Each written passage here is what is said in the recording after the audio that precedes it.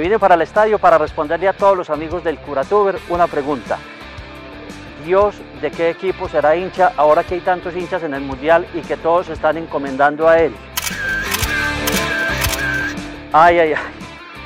Esa es una pregunta muy difícil de responder. Lo que creo es que Dios es hincha de todos aquellos que se preparan a conciencia, que se esfuerzan, que llevan varios años mirando hacia la meta, mirando hacia la copa, que entrenan, que se levantan y que hacen el esfuerzo día por día, los que actúan con responsabilidad, los que van sin trampa y sin malicia